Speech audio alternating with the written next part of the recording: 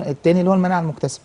فإحنا فعلا مناعتنا قوية. فاحنا لو إحنا حابين إن إحنا نحافظ على المناعة بتاعتنا ديت يبقى لازم نعمل life style سليم. life style سليم. ال- ال- المشي والرياضة زي ما إحنا اتفقنا آه، النوم بشكل آه، منتظم وبشكل يكون بعيد عن ال- السهر. آه، شرب المية طبعا بانتظام الأكل الصحي والسليم. نقول كمان البعد عن البعد عن التوتر. التوتر والقلق والتكشيرة بقى. أنت ابتسم. ابتسم. ربنا يكرمك. الحياة حلوة فعلا. الحياة حلوة طبعا. تمام. طب يا دكتور آه لو أنا بتبع نظام غذائي للتخسيس ممكن ده يأثر على مناعتي؟